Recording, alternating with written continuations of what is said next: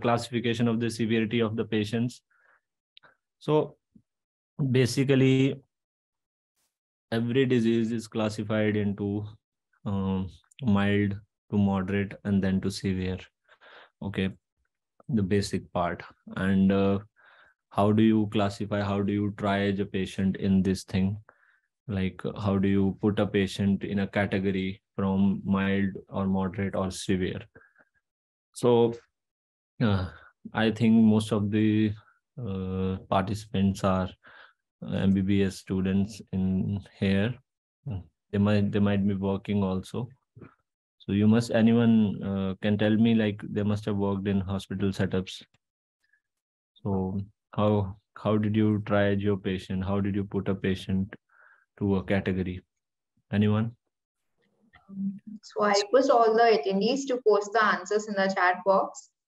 How do you categorize the patients?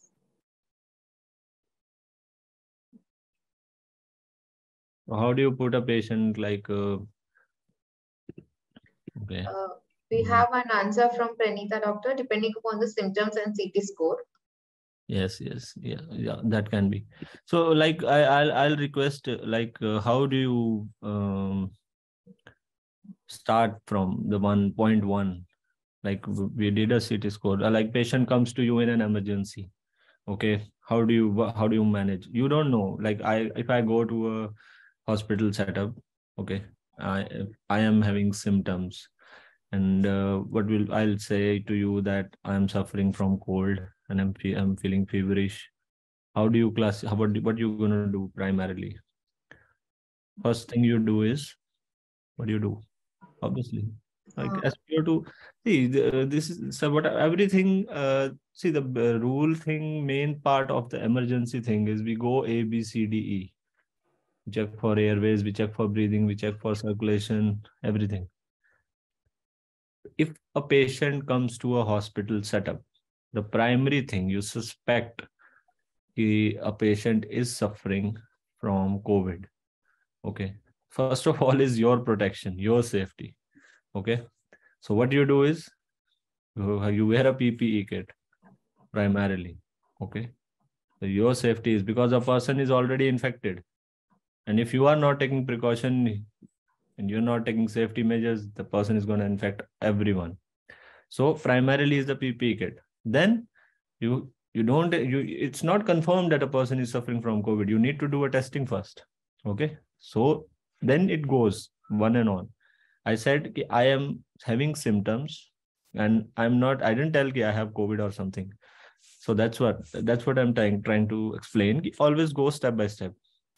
So it is just like checking for vitals and all. That is primarily first we take a patient to the bed, like a proto like COVID room. If you think a person is suffering from COVID, you do a testing. If it is positive, you go further with monitoring of vitals, everything like that. Okay.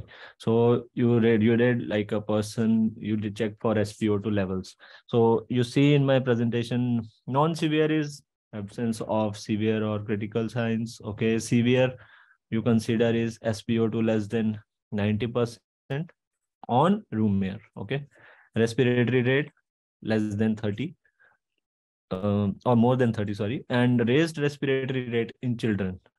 Okay, and signs of severe respiratory distress. Okay, um, so you said CT score part. So you think like if you think uh, SpO2 is if, if uh, there is a patient aged 68 years old patient okay and a person is a case of already known case of copd okay and the spo2 level is 88 no fever associated you did a test covid test and that comes out to be negative what you gonna do you'll do ct for that patient yes or no Anyone?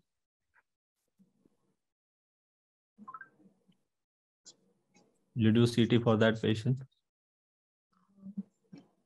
So I request the attendees, uh, do we do the CT scan for the such kind of patients? Please write it down in the chat box. Uh, uh the person is already suffering, uh, uh he is a COPD known case. He is afebrile and uh, his saturation is 88% and you suspect that he or she might be having COVID. So would you do a HRCT for that patient? No. Uh, any yeah. any specific any specific reason for that? Okay, one doctor, Kutejatul Kubra, uh, he says that yes, we do CT. Uh, can we can I get to know a reason for that? So Dr. Kutejatul Kubra, can you please elaborate why you wanted to do a CT scan for such kind of patients? See, uh, if uh, see, I I understand there's no respiratory symptoms, but uh, see, never rely on patient history. The primary uh, mantra for your successful what we call a clinical course i'll suggest you when you do when you're working for a hospital setup never rely on uh, patients what we gives history because indians most of them people what i have seen like they are hesitant as you know because they are more more worried ki, uh, you don't know ki, what what their condition would be how how they're going to be treated everything like that See, main part, yes, we need to do CT. See, every day new or the other guidelines are coming. Uh, earlier it was said if you have a fever, okay, and you are uh, what we call quarantined for seven days. It was a quarantine period was of seven days, right? So if the fever breaks after three days post your medication, no need to do test. So like we cannot rely on these guidelines. The guidelines change every day, every day, every day. But uh, it is on you how you manage a patient. So hrct yes i for like we do hrct for patients whom we suspect he or she can suffer. Okay there are no respiratory symptoms. I agree to that. But a patient is already a known case of copd we need to check his ct score to know the severity for that. Okay? So i'll suggest yes you should go for a ct scan for such kind of a patients okay? So that you can manage the patient well. So you think okay so for the testing part how do you say like rt-pcr and rat that rapid antigen test that we do. So how do you rate uh, for the uh, rapid antigen test and how do you rate rt-pcr okay rt-pcr we know it is the main confirmatory we do for that but how do you think the success rate, success rate of rapid antigen has come out to you must have seen covid wave everyone has seen so how do you think more more success rate was of rt-pcr or of rat um, so I request all the attendees, uh, I'm repeating the question again. What is the most successful rate? Is that RT-PCR or RAT? Please write it down in the chat box.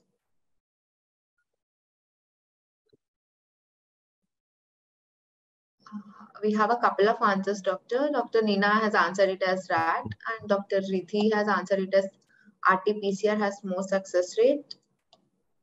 See, uh, uh, RT-PCR, see, RAT is a screening kind of a thing. Okay. And RT-PCR, it's more accurate. Okay. And for the patient with the initial days of infection, which is the last large kind of a viral load load on the like a person so we do rt-pcr basically the only uh, the what we call the only benefit for this rat is it is like very kind of a rapid kind of a thing na? so we be getting it quick results for that we can do a large amount of screening but it is not what we call a sensitive it is not as sensitive as rt-pcr so that is why RT-PCR is more preferred. Okay. See, you uh, clear your doubts on this. Okay. We do a RAT for a person. If it is positive, the patient is positive. Yes. RAT is negative. Okay. You suspect doubt for the patient, like with the proper symptoms, you do HRCT and RT-PCR for that patient. Okay. Uh, it is very necessary. So if RAT uh, RAT negative doesn't confirm uh, what we call kila patient is uh, not suffering from uh, the ailment okay? So, so so you should always do an rt-pcr for that. So uh, the third category as i told the critical. Obviously it requires the life sustaining treatment acute respiratory distress sepsis septic shock. A person with the so what is uh, so if we proceed clinically so what you what are you going to do for a patient? You check for the vitals okay? You the patient is on the bed. Uh, so what are you going to do primarily? The first investigation you're going to do for the patient. You know the patient is positive. So what are you're going to order to your what you're going to instruct to your uh, nursing officer? Like what you're going to do? Yeah. Good good so so, tell me the primary investigation that you do uh, what you in- instruct to your nursing officer what you what you're going to do to check for a patient in a critical kind of a scenario? Anyone? The first test you do. Yeah vitals is good. Abg uh, of course. So abg is the most important thing mm, like so maintenance is later the test is primarily abg we do. So uh, anyone of you that is working for a government setup? Like i work for a government setup okay? Uh, if i work if i work for i work for a civil hospital also. So we don't have if, abg machi- machines there right? Uh, dr pranita i guess. Do you have a abg machine at your place your hospital setup?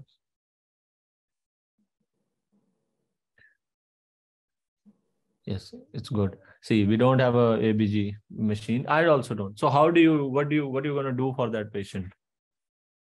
How do you manage that patient? Or just refer to the higher center.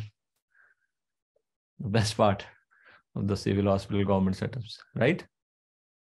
You refer the patient to the higher center right